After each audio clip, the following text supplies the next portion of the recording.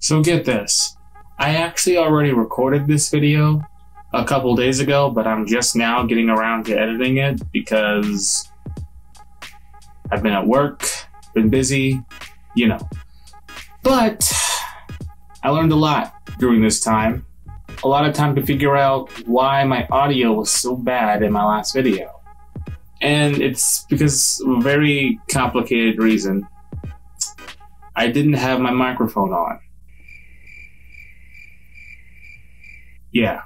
So hopefully the audio in this one is a little bit better.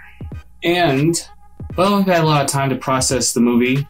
Um, I'm sorry, Spider-Man No Way Home. I've had a lot of time to process that movie. I'm gonna take these off. It's kind of a good thing that I'm redoing this video because my last video, like this was, I I filmed that video right after I watched the movie, and that whole thing would have been like three hours long. So yeah, and you know, with now I've had a lot more time to process the movie. My nostalgia has gone down, and it's just like, all right, cool. Let's just talk about the movie. You know. So to help organize my thoughts and make sure I stay on topic and all that, I put everything into my phone, at least a, a bunch of notes, um, so I can focus on individual beats, and so the, the video isn't as long, basically. Overall, no spoilers. Um, first, like at first I was gonna do a no spoilers video. If I did that, it'd only be like 30 seconds long. Because I'm not a movie reviewer, um, to be honest. Um, I would just say, with no spoilers, this movie, in my humble opinion, was absolute garbage. I'm just kidding. The movie was was really good. If I had to give it a rating, it'd be nine out of ten. Go watch the movie. Anyway.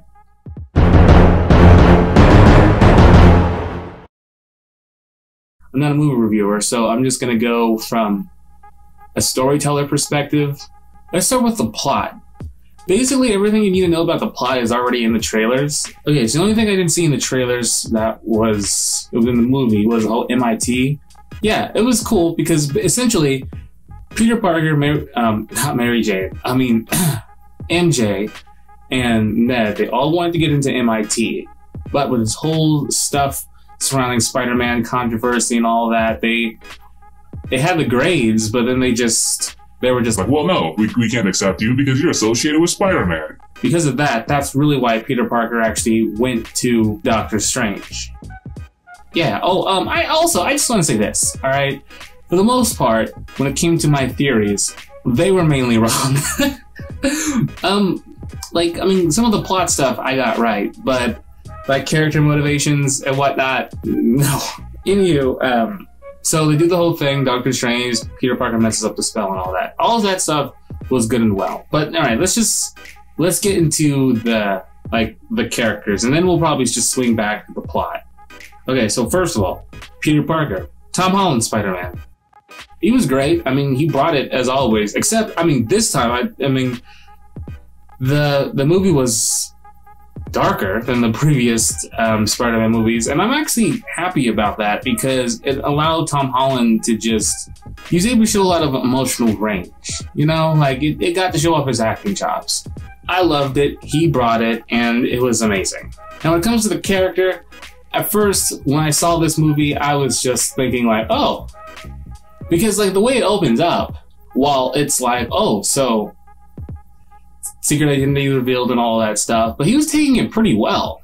And I was like, oh, okay, you are really calm. I mean, he's, I mean, it wasn't like he was just like not freaking out or anything, but it was more like I was expecting him to be like, oh, okay, so people are in danger. I should, you know, go home and stuff like that and just figure out what's going on. But what stopped me was because as soon as he got home to talk to Aunt May, Happy was there. And by the way, Happy at first, to me, was being a little bit of a creep because Aunt May clearly didn't want their relationship to go any further, but he was just barging his way into their house and stuff like that. It was like, dude, if you don't chill, are you the other member of the Sinister Six? But anyway, so Peter was like, Well, I just want to talk about your guys' relationship. and I was just like, why? Yo, let's focus on the big thing right now. Your identity was revealed. But then again, I don't think this Spider Man, up until this point, took his secret identity as seriously as like previous versions of the character.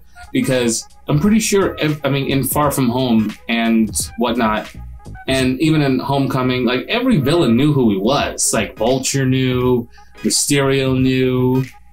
Um, I'm pretty sure the Shocker knew, although he probably didn't know him by name, but he knew that he was, you know, Spider-Man stuff. He was a high schooler, so yeah, it was pretty much like everyone knew his identity, but it wasn't just like a big thing. Spider-Man was great. He had his moments. What made Spider-Man great for like this version, Tom Holland Spider-Man great, was just his interaction with the other characters. Let's talk about Aunt May. Okay, so Aunt May in this movie was way better. It put more to her character besides Well, I'm the hot Aunt May, so yeah. they just they just gave her more character and a lot more agency in this movie. When she died, I was like, oh wow, this character really had an impact on me, and I loved it. Um, but then like the moment when she died, all right, because the way she died was just you know Green Goblin's glider hitting her from behind and stuff like that, and.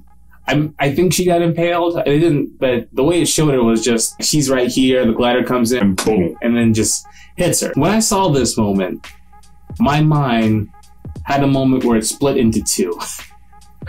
where there was the fan, and then there was the writer side of me, or storyteller side of me. The fan was like, Oh my gosh. Don't die, Aunt May, please don't die. But then the storyteller part of me was just like, Yes, this is what needs to happen for his character to grow. Kill them. from a storyteller perspective, yeah, it makes sense. And this is something I talked about in um, in my last video with my predictions that Aunt May was going to die. And yeah, she died. It did exactly what I was expecting it to do for the character. And it kind of sucks because, like, a lot, so much of this movie was leaked. Boom! Daredevil's in the movie. Bam! Aunt May dies. Boom! Tobey Maguire. And I kind of agree with Jeremy Jahns. You don't understand how much better the movie would have been if it wasn't spoiled. Part of me was just like, Okay, when uh, when is Tobey and Andrew gonna get here? and I'm, I'm not saying that was what I was thinking the entire time, but in the back of my mind, it was like, All right, all right, all right. So when are these characters gonna show up? All right, let's get to it. You know what I mean? And when they did show up, yes, I still had my moment. Of, Oh my gosh, they're here. I w- it wasn't as big as it would have been if I had like no idea that they were going to be in the movie. But it was like, there, there, you go. It wasn't like that. It didn't ruin the movie for me, but it definitely brought down my hype. So anyway, so with Aunt May, she had her moment where she actually told Spider-Man, Peter Parker, I mean, Tom Holland, with great power comes great responsibility. And I was like, wow. I'm glad somebody told this kid.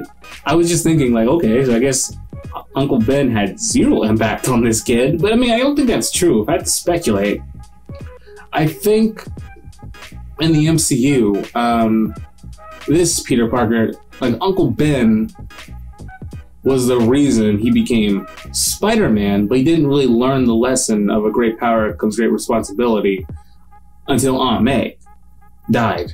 So that's what I'm thinking. There was one thing about Aunt May, um, her death, that just kind of was like, Wait, what? I'm not even the only one who felt that way. Um, there was a couple next to me, and when this happened, they were like, Wait, whoa.